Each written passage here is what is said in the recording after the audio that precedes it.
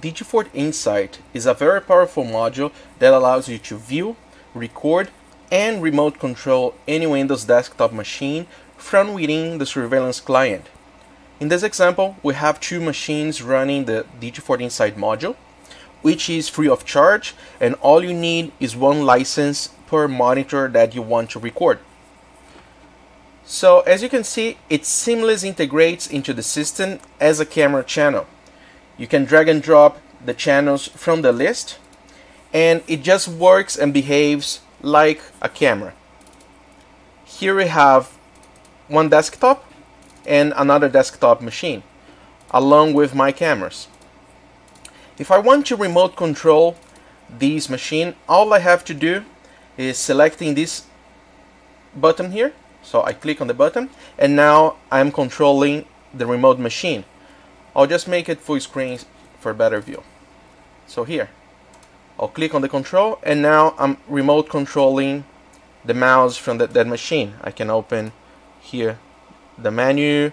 I can work on any on anything like if I was um, on that machine. I can also type and use my keyboard. So, for example, I'll open Notepad and this is a test.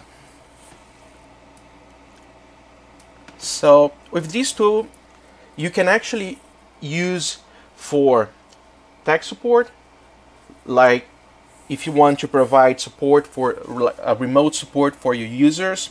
You can also use Digifort Insight as a tool to record whatever your users are doing. You can use Digifort Insight as a way of showing, for example, um, a dashboard from a system that is desktop based or remote control any kind of system or even use it for um, integration of systems inside uh, Digifort. Because everything is recorded, you're gonna have all your images and all your um, Insight cameras recorded in H.264 or MJPEG streams. So if I want to playback, I can just click here, multiple cameras. I'll get one minute ago. And there you go.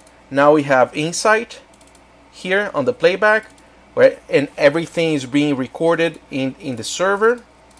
I have my cameras and everything synchronized. So for example, if you have some dashboard software uh, that is showing the status of something or a machinery or anything everything will be recorded in Digifort and if you want to control that machine all you have to do just put the, the put the camera on the screen click on the button and now you're remote controlling any any machine that has Insight installed.